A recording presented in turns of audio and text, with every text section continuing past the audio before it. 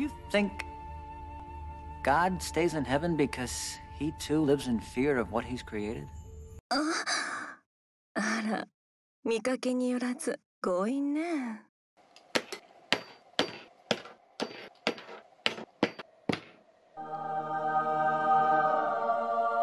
You clicked on the video. What did you expect? So today, dear boys and girls, we explore a several decade old question that parted nations. Who is the sexiest Sonic character? Hmm, if you set the titular main character himself, you go now back to Deviant Art where you belong. Here's no such space for you on this Christian Minecraft server. Now let's go back to pimpifying Eggman. Since this, you know, is a repaint, yeah, I wouldn't have known either. I start by ripping off her head. Clean the face paint off with acetone and cut the hair. An extreme spa, so to say. The basic prep is done once I cut the head open and remove all the leftover glue that was inside. Now, to why I actually decided to create this insult to good taste. The great Akin from His Name is Akin decided to host a collab where we turn video game characters into their true sexy selves. And you might ask yourself, well, the characters must have been chosen randomly, right? No. Uh, There are hundreds of different video game characters with a vast backstory or an extremely loyal fanbase. And I chose Eggman. I got tested, I swear. You might think, why am I looking at a pair of boobs when I came here for the eggplant? I do have minus five male dolls, that's why. So I have to make shift with what I have, which is an abundance of broken female dolls. Eggman himself wears a big red coat and black pants that cover his entire body, which is bad. We want to see that egg. Everyone agree. My concept now reduces all of this to as little as possible to let us see as much as possible. With exception of the arms, of course, they shall be covered, you weirdos. On a side note, Eggman is over 50 and close to 60, and since I didn't want to sculpt some saggy old tits, I made up that this gender band version of him is just really into face masks. Yeah, let's go with that. I just gonna start with the most controversial part of this repaint the eyes. Humpty Dumpty doesn't really like to show his eyes. There are some iterations where you could see them, but are they really what I want? So I went whatever and thought about this gender band version as a super secret skin in an unreleased Lost Smash game. And you should too. Let's talk a bit about Eggman and why he is the greatest Sonic character. These are only facts and you should get used to them. Remember the first time you got introduced to the Sonic franchise? Was it through a game maybe or a TV series? I first saw this hunk of a man in 2003 in Sonic X when there was still Jetix around. Yes, we European folks got all our anime goodness from Jetix. Don't laugh. I loved this guy. He was evil, ruthless, a serious threat to society, but yet so goofy and lovable. A perfect, well executed combo. I'm not looking at anyone particular here. Sonic Boom. but in recent years, he has gone down worse than a child actor. In Sonic Adventure, for example, he used an ancient god to remodel a city to his own likings, and in some other older games, he has ships, robots, and everything's blasted with his face. Just true insanity, but it's never treated as a joke. The PJ show has a great video about that, which I 100% agree with. Eggman has just become a laughingstock in the past almost decade. And the live action version just added on top of that. That's why I decided to kinda use Eggman's propensity to drama and gave this version a really, really dramatic eye makeup and deep red lips. Since Eggman doesn't really have eyebrows, but more weirdly eye flaps, I gave her really pointy and over the top eyebrows that will be visible once she wears her glasses. I also used blue for the eyes. Yeah, scream at me in the comments for this. I like the look of them, and they are quite dark, so it's not that dramatic. Not as dramatic as you not liking this video and subscribing to my channel. Haha!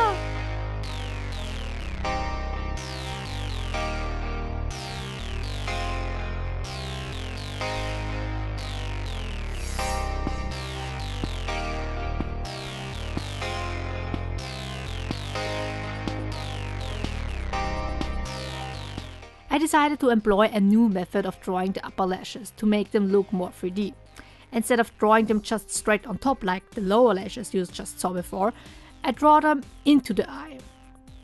It doesn't look that bad, I like it.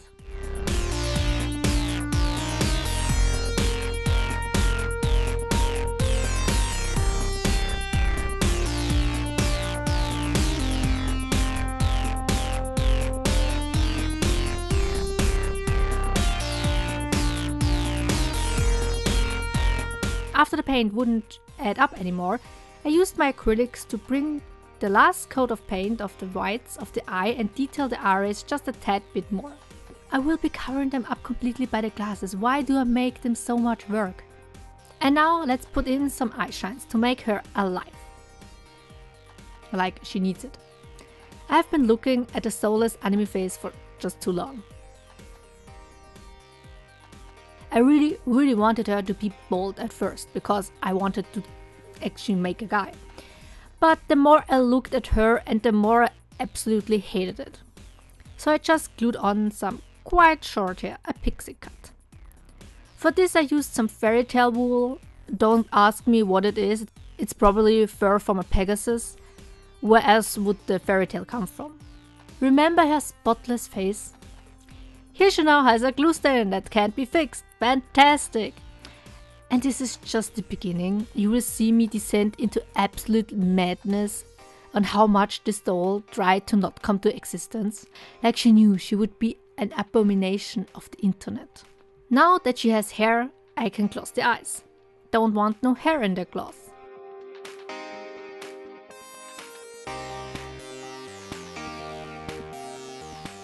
And now a tragedy in four parts. Part 1 The Worbla Glasses. I measured and cut the frame out of the Worbla, which I would later glue on metal rings, paint with black and blue, and fill it with resin and cure them in the sun, since my UV light just so conveniently just broke. This took around 4 hours. And do you know what happened then?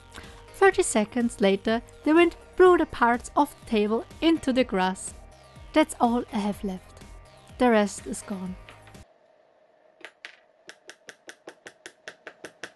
Part 2 I remade the Worbla glasses. I don't even have footage of this. They broke. Part 3 The not curing metal glasses. Yeah, they won't cure. Part 4 I ended up with these. Don't even talk to me about them anymore. Now let's start on the body. Since the doll didn't come with any hands, I thought I might write Mattel to ask them if they still had any. Maybe they knew what I was going to do with them. So I stole them from other doll. Somewhere on Instagram I saw a video floating around of heating up doll hands with hot water and then bending them to your liking to get them into a more natural shape. Guess how well that worked. I cut the fingers off and attached them again with epoxy clay. I formed a glove looking shape and painted them with around 5 coats of watered down acrylic paint. Short intermission to present you the members of this collaboration. His name is Akin with Bowser, and what a Bowser he is. Valkitty's World with Link. Blurred Colors art with the Piranha plant. Stitchwyck Creations with Sephiroth. Sky the Golden with Sammy. Ooak Nara with Hornet, Munequita Cat with Megara, yours truly with Sexy Humpty Dumpty, Harley's Dollhouse with Rouge the Bat, H. Ali Crafts with Neeko, Unnie Dolls with Rift Scuttler, and Artysn with Amaterasu. Check out the videos as well, but only after you finish mine. And then you can decide who would win in a bikini brawl. All my bets are on Bowser, but don't tell everyone. So back to this un-egg-shaped body. As much as I love her strong muscular legs, they don't really come close to the greatness that are Eggman's spaghetti legs.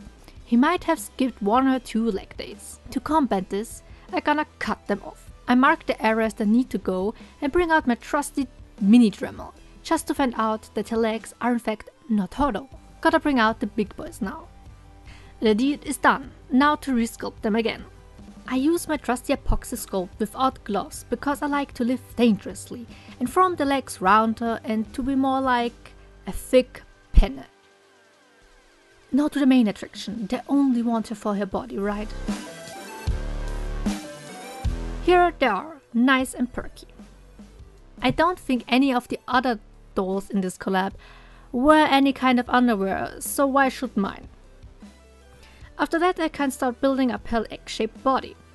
I didn't go full on round for a reason, mainly because there is a really thin line between looking like an egg and looking pregnant. I went to the side of the internet and I don't want to go back.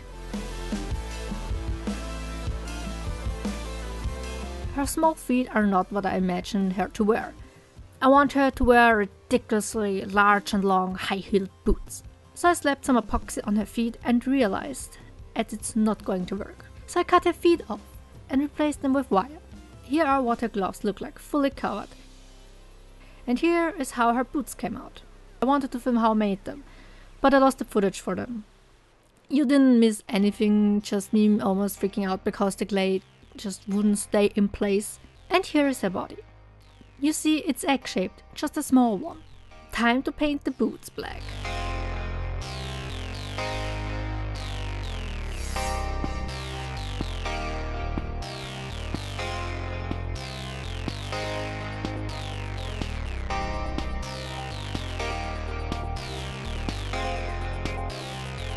Now I think it's time to paint her body and sew her clothes, right? No, it's time to flood the table and destroy everything that's on there, including my memory card. So, no body painting for me and you. It's not like you have never seen someone smother paint on a weirdly shaped piece of plastic, right? While you think about how paint a flesh-colored eggplant, welcome to the sexiest version of Eggman tier list! You don't have a choice. Realistic Eggman. F tier, what the heck is this? Sonic X Eggman, absolutely A tier, he's perfect. Evil Eggman, B tier. Original Eggman, absolutely E tier, what the heck is this? Actual female Eggman, E tier. Politically incorrect Eggman, E tier. Nipple Eggman, B tier, he's perfect, just not enough. Actual original Eggman, C tier. Pole dancing Eggman, absolutely S tier, he's perfection. Saddam Eggman. D tier. My god, who designed this? Square Eggman. I think you missed the point. D tier. Muscle Eggman. B tier.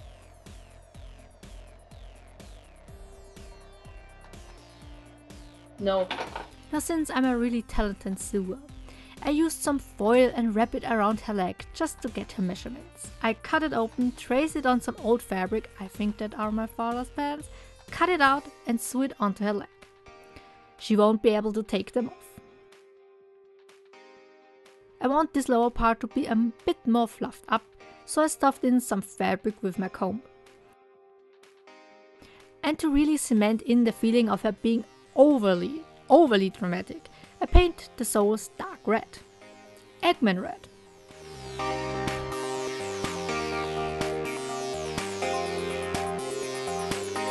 Two scenes are the only thing left from the big flood. One where I cut out her sleeves and one where I make a zipper.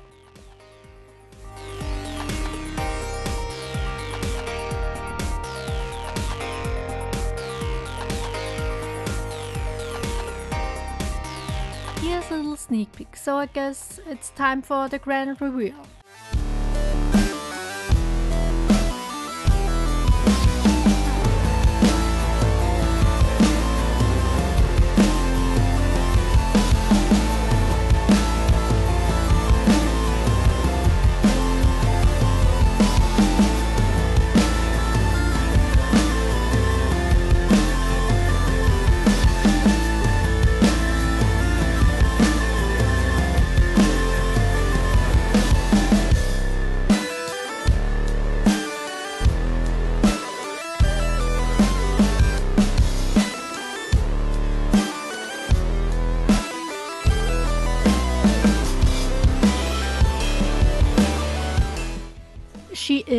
Ridiculous, and that's why I love her. Everything about her is just so over the top, extremely sexy and unexpected. I hope you like her as much as me, and you go and check out the other members of this collab. All links are in the description. Don't forget to like and subscribe because this only shows me that you like my content and I should do more of it. Anyway, thank you all for watching. Ciao ciao!